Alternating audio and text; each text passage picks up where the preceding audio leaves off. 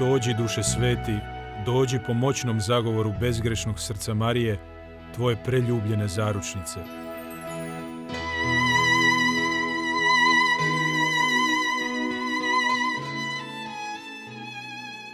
Iz Evanđelja po Mateju. U ono vrijeme Petar upita. Evo, mi sve ostavi smo i pođu smo za tobom. Što ćemo za to dobiti? Reče im Isus. Zaista kažem vam, vi koji pođoste za mnom o preporodu, kad sin čovječi sjedne na prijestolje svoje slave, i vi ćete sjediti na dvanaest prijestolja i suditi dvanaest plemena Izraelovih.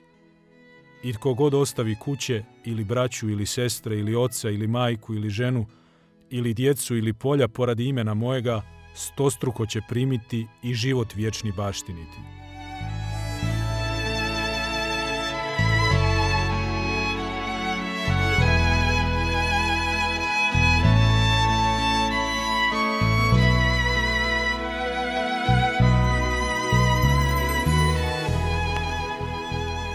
Hvalim Bog zbog Maši i zbog Pašice.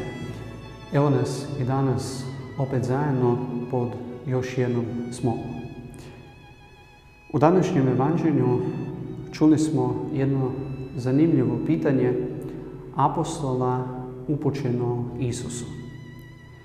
Mi koji sve ostavi smo i pođu smo za tobom, što ćemo za to dobiti?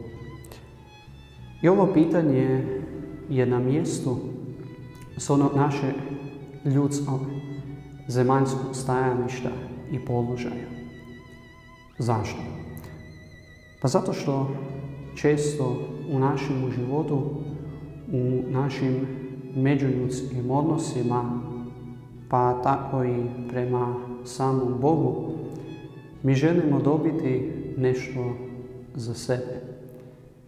Želimo biti na jednom dobitku. No Božji pogled na taj odnos je suprotan od naših. I ono što je nekako važno primijetiti da Petar pita i postavlja to pitanje Isusu misleći samo na ono zemaljsko, na onaj dobitak koji će dobiti u ovome životu. No Isusov poziv uvijek je poziv na dublje povjerenje, na pogled u daljinu, u budućnost. I ako pozitivno pristanemo i odlučno pristanemo na taj Isusov poziv, tada to znači odeći se udobnosti i odeći se odmaknuti od sebe sve ponude ovoga svijeta. No pokušajmo se opet vratiti na ono pitanje koje smo si postavili, koje su apostoli postavili Isusu.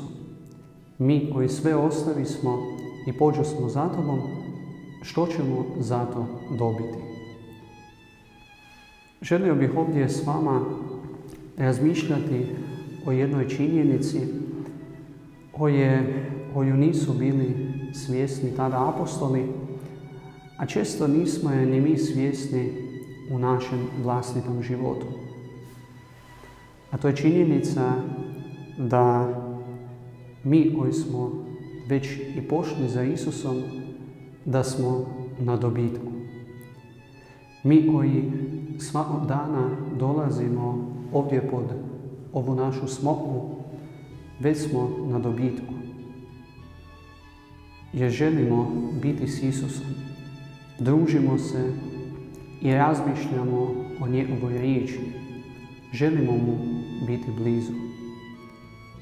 I možda sada u ovome životu ne vidimo ili ne primjećujemo plodove to naše odnosa s gospodinom, no ne trebamo zato biti zabrinuti. Ti plodovi i nisu od ovoga svijeta. Na te, na te plodove trebamo još malo čekati. Zato dragi brate i sestra, uloži ono najviše što imaš, što možeš dati od sebe. Uloži svoj život. Jer, za, jer ako uložiš svoj život, s Isusom ne možeš izgubiti. S njime uvijek dobivaš. Amen. Ako se svidio ovaj naš video, pretplatite se na naš kanal, podijelite drugima, možete ostaviti i neko pitanje u komentarju. Svak vam dobro i Boži blagoslov.